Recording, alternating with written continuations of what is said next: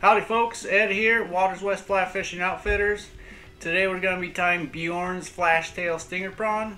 Uh, the Flashtail Stinger Prawn is uh, one of the most popular uh, flies for Chinook salmon, uh, for swinging for Chinook salmon. Um, it was originated by uh, Bjorn Beech back in the past. And today we're going to be tying it in the green and blue aka Seahawk color, which is one of the most popular combos for kings. So here we go.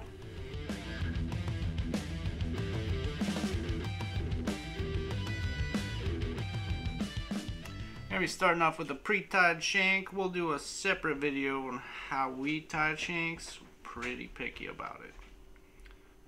Anyway, throw that shank there on your vise. Make sure it's nice and tight so you're not screaming later when it pops off during the crucial step. Start your thread on the shank. Two wraps.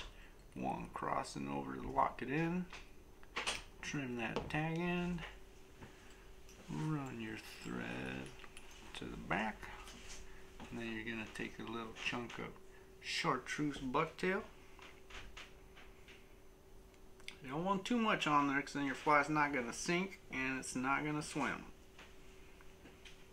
which are pretty important when you're tying these kind of flies probably the most important things take a little clump of your bucktail about three quarters of a pencil width.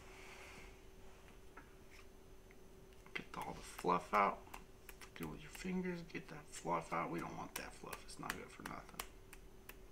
Get that fluff out. Check the tips, make sure there are no crazy long stranglers out there. That looks pretty good.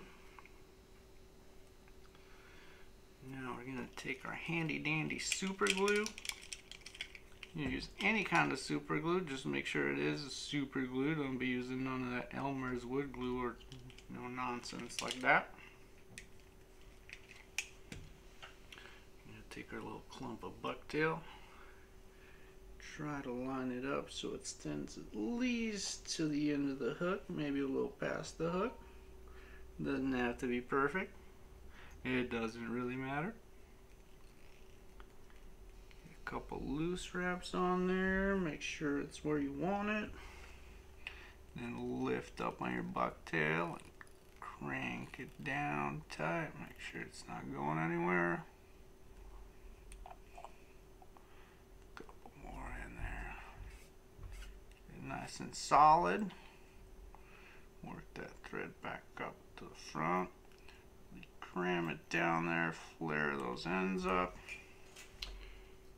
Take your scissors.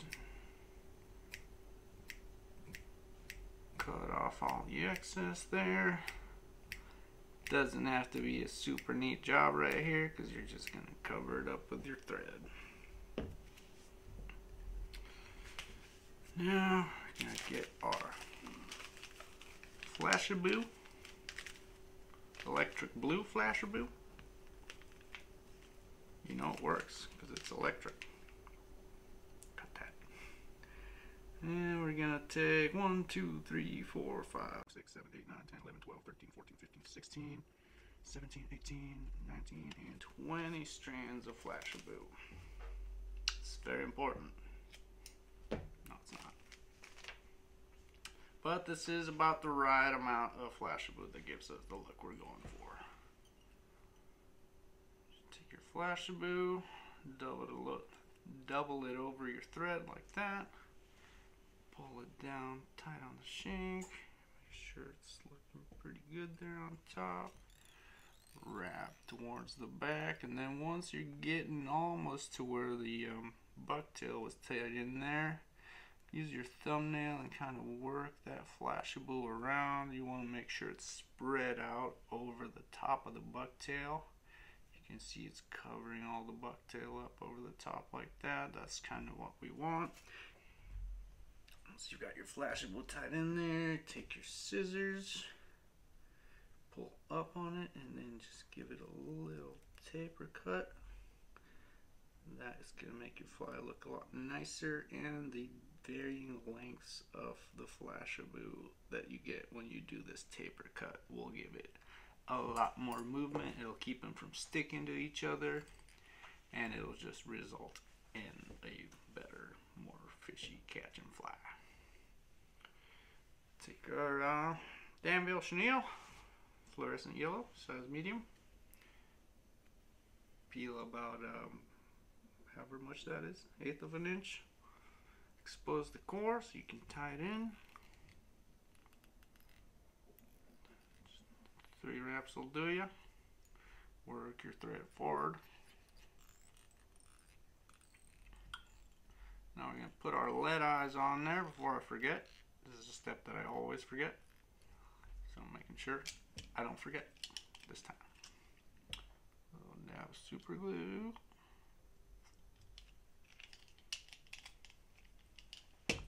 Extra small presentation lead eyes. My favorite, but the only kind I use, except when I don't. Couple figure eight wraps, get it in position, make sure it's centered. You don't want it off to the side.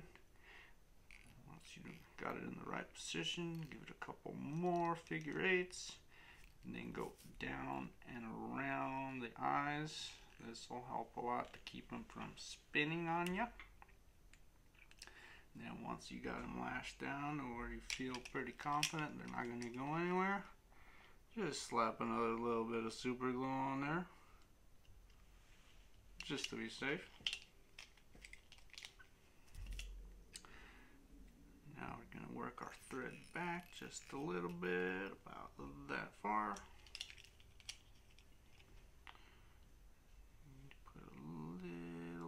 more super glue over the top of the shank. Chenille's pretty stout, but those kings have bigger teeth sometimes, so you don't want that chenille coming off after the first fish. Pull that chenille pretty tight there and then start wrapping it. You want to make touching wraps where just the very ends of the fibers of the chenille are touching. You don't want to be really wrapping it tight against itself because then you'll end up using way too much of it and your fly won't sink as well, etc. etc. But make sure that when you are wrapping your chenille, you're pulling it tight against that shank. The reason for that is because the way the chenille is made, the uh, core is braided onto the fibers and the materials. So if you don't pull it tight like that on some chenilles, you'll be the material will just come right out of the core, which you don't want that. You want your flies to last because you put a lot of time and effort into them. Tie that chenille off there. Couple, three, four, five wraps, whatever. Clip her off. Get a little bit of fluff off. Tie nice and looking. Looking nice. Now for the next step, uh, the original pattern calls for stretch flex, which you can get at your local flash shop, or this flash shop, even better. Um, if you don't have stretch flex, you can use six pack rings. If you fish for salmon a lot, I bet you've got a lot of six pack rings laying around, especially in this day and age. Wrap that stretch flex on just like that set it aside for a second. And we're going to start with our first marabou feather. Going with a chartreuse, fish hunter, fluorescent chartreuse UV. Already peeled the bottom fluff off. You make sure you start where the stem gets kind of bendy. You don't want to be messing around with no stiff stems. That's just a recipe for frustration. Now we're gonna get the tip off our marabou here. Pull it back a little bit. Cut a little triangle in there for our tying point. Tie it on there. On the Tie it in there on the bottom of the shank. Or the top or the side. Doesn't matter. Next we're gonna take our well, things tied on there real nice. Good. So we're going to take our hackle pliers. You don't need hackle pliers for Marabou, but oh, see, wasn't tied on there.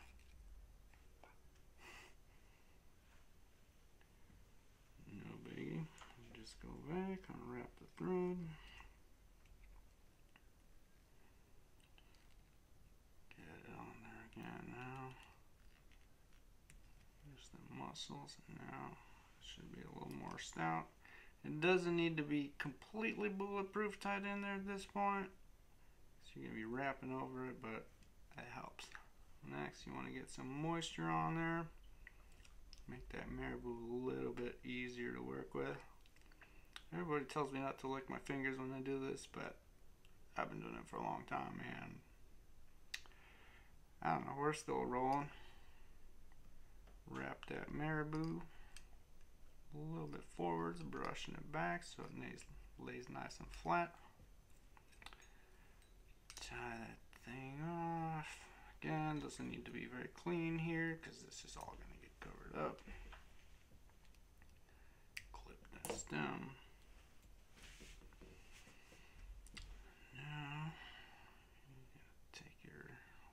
tool, your scissors, dubbing needle, whatever's handy that's got a pointy end. And just spread that marabou aside. Just make sure you got about the same amount on both sides of the fly. So it swims right, it doesn't get funny. Next we're going to take the little chunk of that chenille that we cut off earlier and do the same process again, tie it in there in front of the marabou.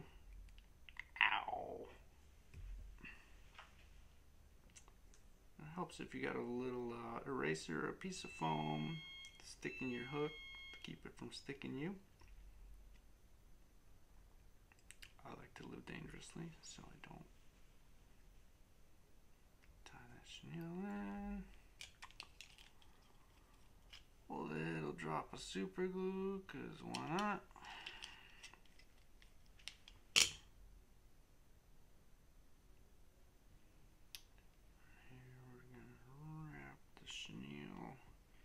pretty tight against that marabou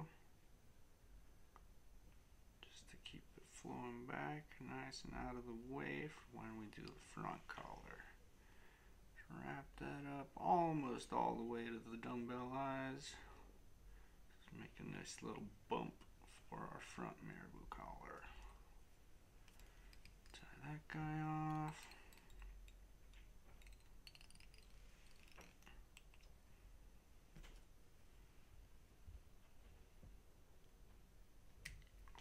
off. Rip out that additional fluff in there. That's not doing anybody any good. There. Now I'm going to throw a couple half hitches in here. And I'm going to cut this white thread off. This isn't crucial, but I'm just trying to make a real nice fancy fly here. Or as fancy as you can get with you know, six inch long Chinook flies. So I got this looking pretty good. Now I'm going to grab my blue thread. It's considerably finer than the other thread.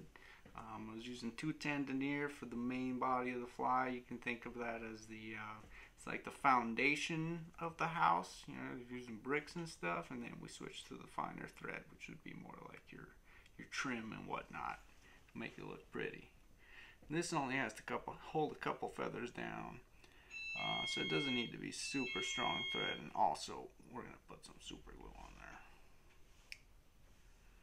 there. Put that thread on there. Make sure it doesn't fall off. Now we're ready for our... And we're back. Had to answer the phone. It's pretty busy here sometimes. Next one, we got our Kingfisher Blue Marabou. Gonna do the same move as we did with the last one back the tip there, or pull back the tip, don't peel it. Cut a little triangle there for a tying point. Nice little triangle. Tie that thing on there.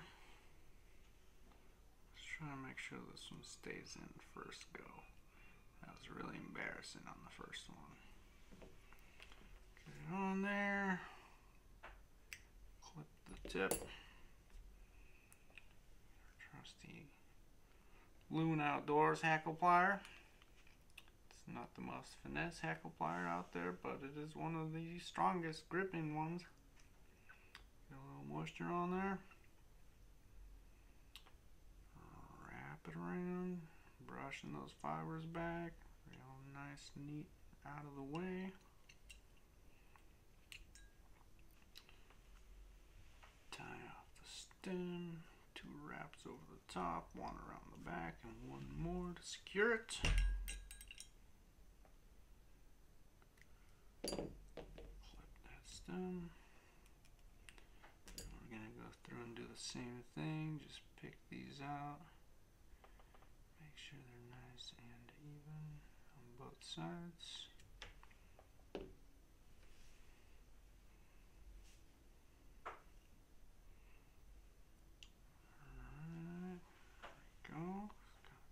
shape now. And we're gonna put some more super glue on it. Just a little dabble, do ya? Now, we're gonna take that stretch flex we tied in earlier, pull it over the marabou. This is gonna keep all our marabou down towards the belly of the fly. So we get the desired stinger prawn effect. Couple wraps over the top, one below, one more to lock it in.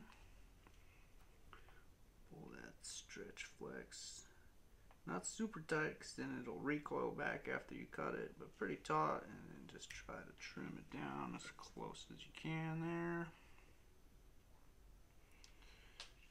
Pretty good. Next, we're going to take a whiting, black laced white hand cape, dyed kingfisher blue. Super cool product. Love them. We got quite a few colors here at the shop. On a rotating basis, sometimes we've got a lot of them, sometimes not so much. Give us a call, we'll tell you what we got. So uh, I take that feather, I peeled all the fluff off the bottom of the feather, get it to about the length I want, which is kind of overlapping the tail there a little bit. Again, not super critical, but proportions, paying attention to proportions will help you make better looking flies. Oh, skips a step. Before you tie it in, you want to take your fingernail and run it down the stem like that kind of flatten it out a little bit. This will help keep the um, feather from rolling on you when you tie it in. Get some nice straight wings on there. Well, these wings are pretty easy since they're just going on, they're flat. But flattening the stems like that will help a lot if you're tying Spey flies, glasso flies, orange herons, etc. Get that one on there, just a couple of wraps to kind of hold it in position. And then we're going to take a second feather from the same cape, just a little bit smaller, to complete that shell back. Again, same move, fingernails down the stem to flatten it out, keep it from rolling on you. Right there over the top.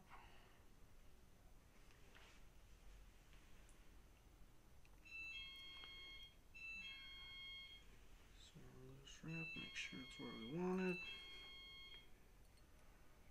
A couple more, and then we're gonna figure eight over the dumbbell eyes. That way we don't end up with a huge ugly head on there and our wings still secure. And I like to push the bottom of the stems back through the eye. Sometimes you need assistance if your stem is real short. Go, pull those guys back. And take a couple more wraps under them to really lock them down. You want to make sure this lasts more than one fish. Nearly two or three. Clip those stems off. Now we're gonna give her a couple more wraps here. Just to really make sure this thing's nice and secure. And we're gonna finish her off. Quick hand whip finish. And another one just for safety's sake clip your thread off. And you guessed it, a little bit more super glue. Bam, bam, bam.